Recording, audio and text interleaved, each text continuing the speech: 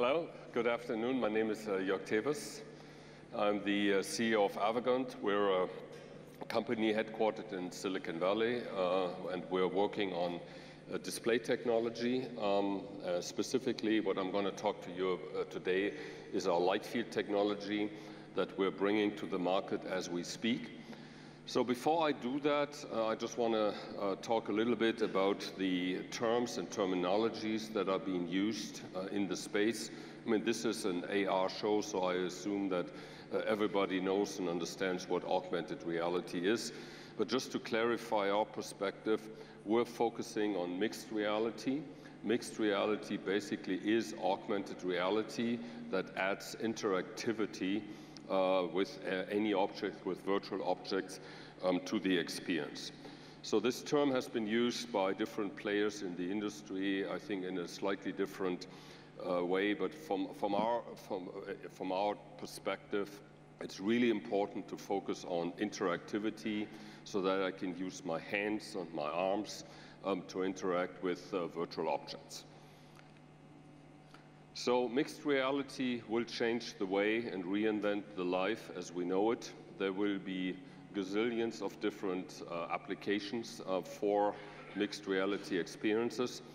Um, actually, I'm, as I'm based in the US in Silicon Valley, there's a huge, um, uh, uh the huge movement and conversation right now about consumer and the impact of uh, mixed reality for the consumer business.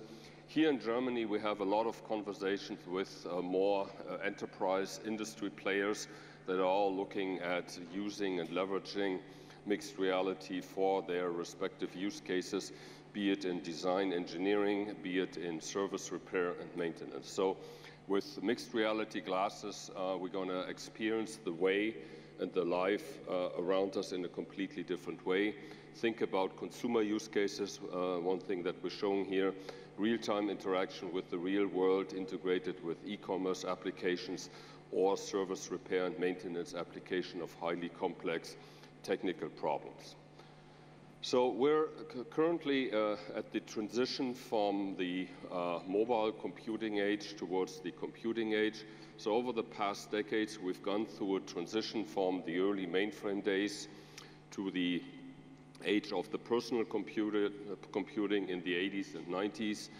Uh, the 2000s uh, brought us mobile computing with the invention of the smartphone.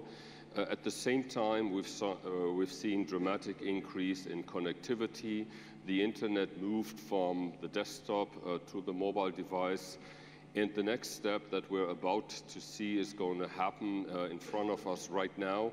it is ambient computing, so I highly recommend you read Walt Mossberg's last article that was published uh, about six months ago, uh, where he described ambient computing as um, the, the, next wave of computing where our surrounding, the cloud through um, mobile uh, connectivity, through 5G becomes basically the dominant platform.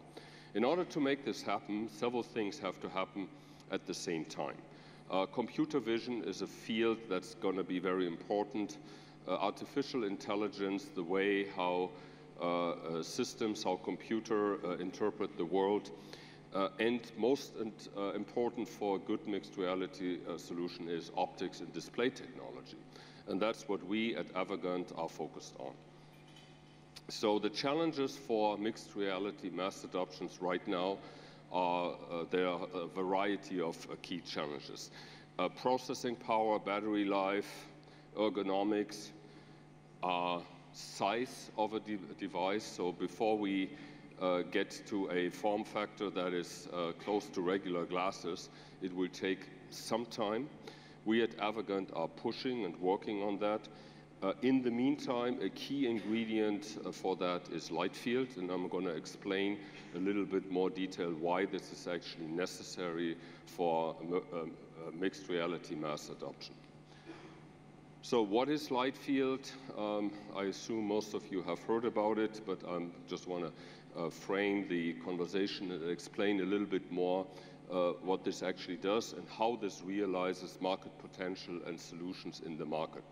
So um, a light field simultaneously displays images of multiple focal planes. So what we do is we basically mimic the way how we naturally see the world. This is very important, and I'm going to explain in a few in a few examples why this matters and where these uh, technologies really will be applied. So why does light field matter? Uh, look at this uh, short video here. You see a hand and you see a Mars robot on that hand. And what you notice is that either the hand is in focus and the robot is out of focus or vice versa. So this is a typical problem that you see in uh, head-mounted displays these days. It's very difficult to get the object rendered at, at the right focal plane. So when I move my hand, for example, the object should follow the uh, uh focus of the uh, hand, which is an object of the natural world. So we come to a problem that is well known in the uh, scientific community. It's called the, uh, the convergence accommodation problem. Uh, this problem plagues uh, VR industry and it has become an even bigger issue uh, in the uh, augmented reality field. So what does that mean? There are two key focal um, depth cues that our brain uses. Um, there's um, focus or accommodation. So when I look at an object uh, close, I focus on the object and everything that's further out is blurred. And when I look at an object in the far, focus on that, an object that is close is blurred. So this is basically the focus depth cue. And then there's uh, convergence. Uh, what does that mean? So any object that I look at close, my eyes naturally converge to that object. And anything that's further out, my eyes become basically uh, parallel. And these two uh, stimulus for my brain have been developed. They work together. Um, uh, they work together in, uh, in, in, harmony, and my brain needs to uh, needs these two parameters to work well together.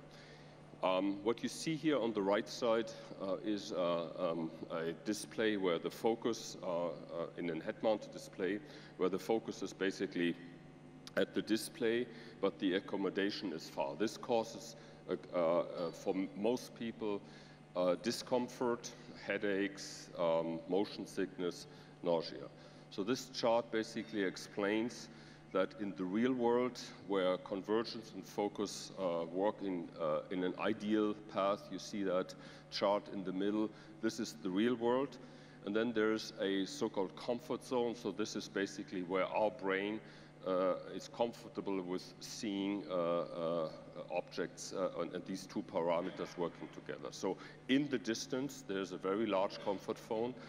Uh, but in, the, in, a short distance, so anything between zero to one meter, there's a very little tolerance for error. So as we're building virtual systems, as we're creating uh, virtual objects, uh, we got to make sure that everything that's in near range, and remember our definition of mixed reality is to be able to grab objects, to interact with objects in the near range.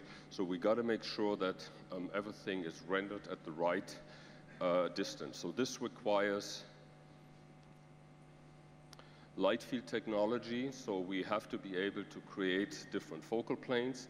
So uh, virtual objects need to appear uh, real at distances both near and far. So this can be achieved by rendering objects uh, at the same time, basically, uh, uh, with different focal plane information.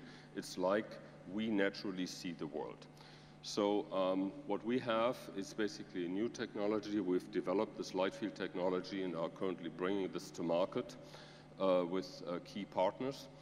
And um, this allows us to create experiences, for example, that you can go up close to virtual objects. So a key use case, um, think about uh, uh, gaming or think about education use cases where you have objects, you can go up close to objects, uh, you can look at objects from different angles.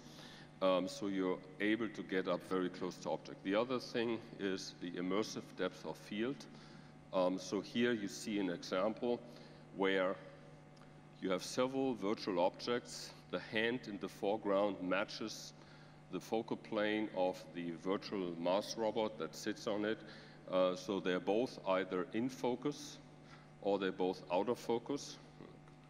Okay, get that video playing.